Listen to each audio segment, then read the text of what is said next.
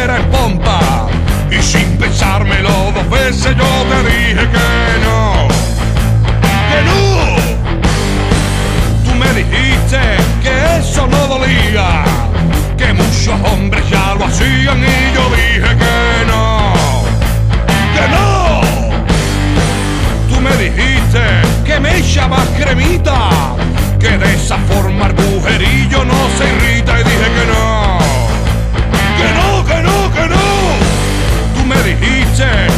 nadie lo sabría. Y que además me gustaría. Y yo dije que